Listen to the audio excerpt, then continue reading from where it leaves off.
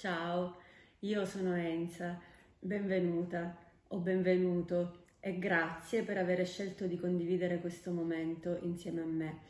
E era per me importante mostrarvi un attimino qual è il setting che io ho voluto creare per, per questa condivisione con voi. E questo è il mio, ognuno potrà personalizzarlo come meglio crede. E, è importante comunque avere, è fondamentale avere alcune cose, un quadernetto, se possibile liscio, senza righe, quadri, in maniera tale che sia utile sia per scrivere che per disegnare, colorare. Se non ce l'avete così, va bene qualunque quadernetto, potete munirvi di foglie a 4 a parte. Poi prendete quello che avete a casa, dei colori, qualunque tipo di colori. Io ho preso dei colori a matita, degli acquarelli, ma ognuno può utilizzare ciò, ciò che desidera. E, e poi ecco questo questo, questa piccola composizione dove non potevano mancare i fiori.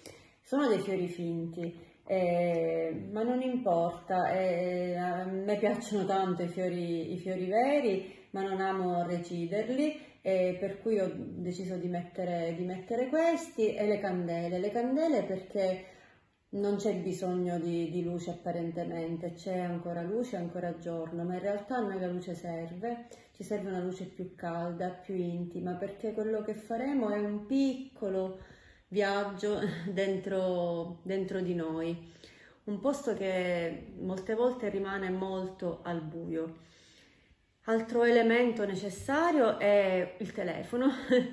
Il telefono vi servirà eh, per ascoltare gli audio o per collegarvi.